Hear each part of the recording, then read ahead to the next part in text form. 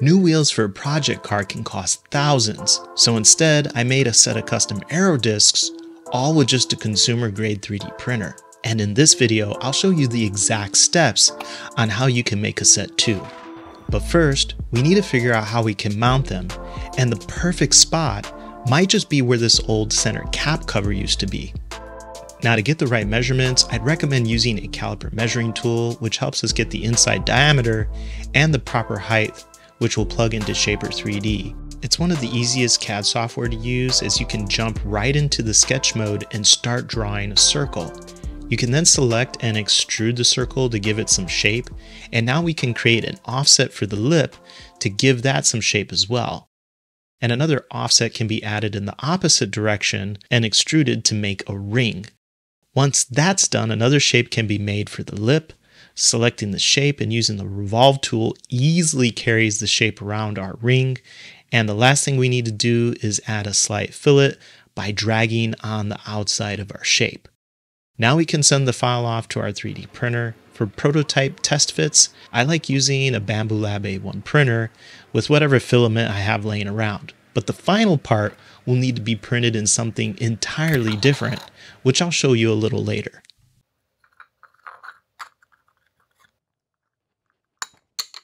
Well, that was a complete and epic failure. I should have been designing it from that inner diameter out.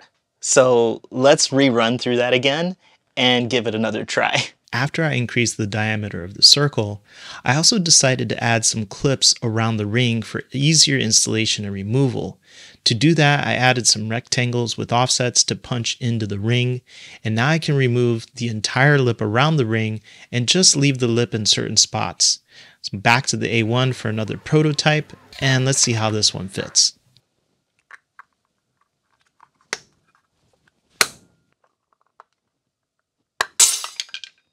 Wow, three of those clips worked really well. One is actually just protruding from the outer ring, which holds the cap in place. And then the two here are slightly flexible which allows us to snap the part in and hold it really tight into place. So now all we have to do is turn this into an aero disc. And if you want to learn how to make parts for your own project car, we have an entire workshop that covers design along with a bonus 3D printing starter guide. But if you want to just play around with this design, we'll share it inside our free newsletter, which you can sign up to in the description.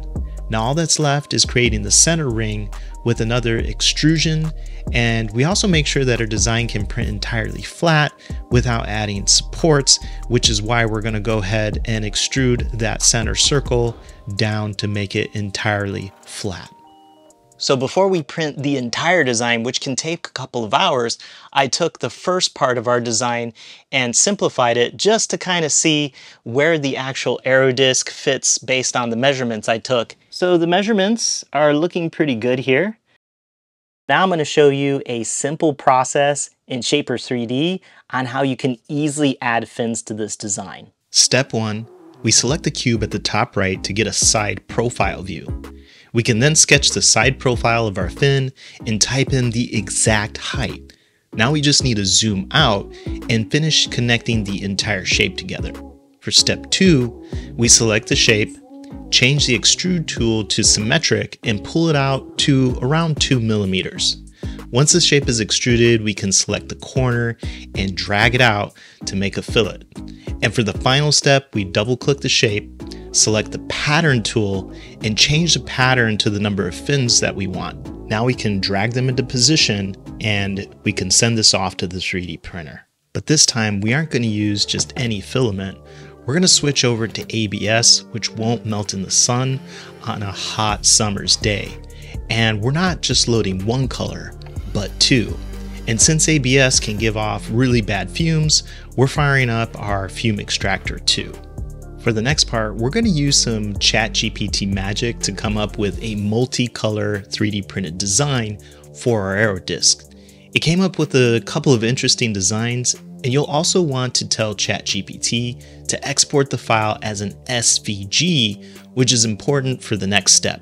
Once you have the files exported from Shapr3D and ChatGPT, you can drag them into your 3D printing software like Bambu Studio. Just make sure that you select your objects and center them up. Now we can start to select the different ABS filament colors that will be assigned to parts of the SVG image we imported. We're going to go with black for the Aerodisc object and white for the image.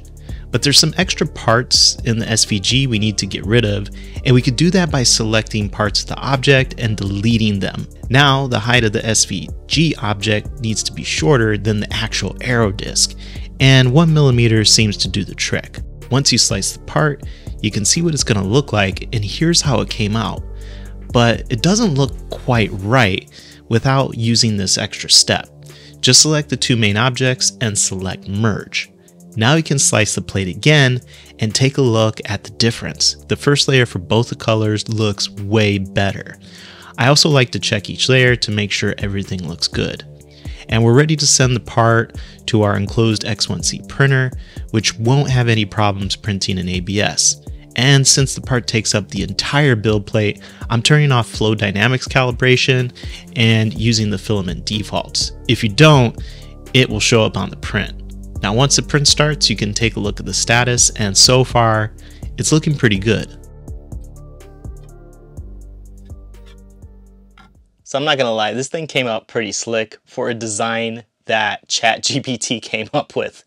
Let's put it on and show you how it looks.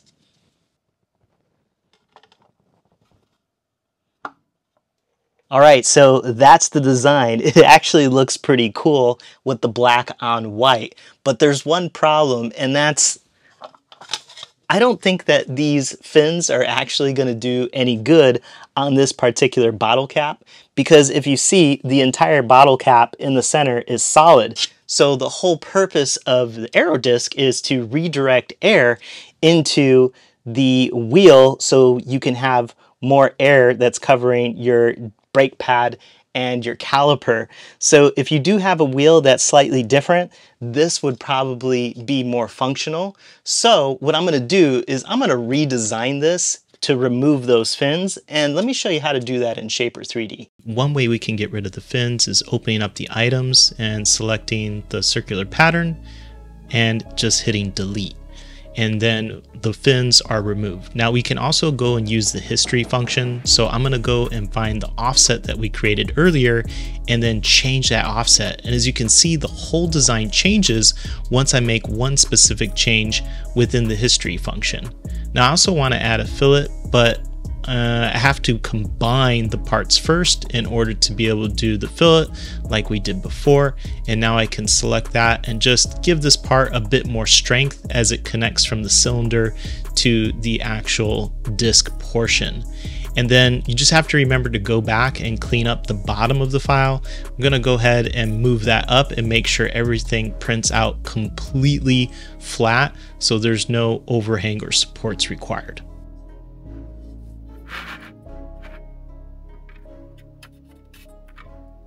So that was another complete and epic failure and I'm trying to hide the design because I don't want to show you yet. So it looks like only the layer of the white filament was down on the first layer and the black didn't start printing until the second layer. So I must have had the arrow Aerodisc a little bit too high in the design.